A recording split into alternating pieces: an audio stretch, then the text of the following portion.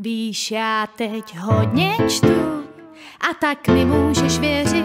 Zavřená jsem v papírový věži ze stránek si skládám origami a přepisuju příběhy, co byly mezi námi.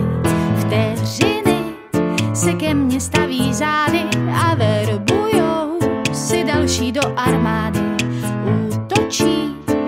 spolu ruku v ruce na mý srdce, který už má dávno po záruce.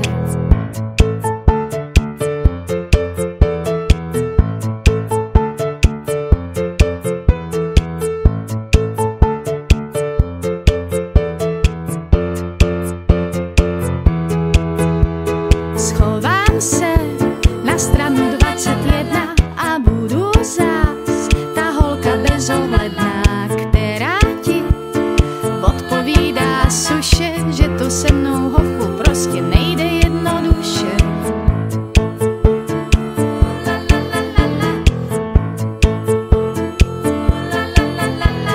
Zazvoní, až dočteš mě do konce, tak jen doufej, že nebudeš za pitomce.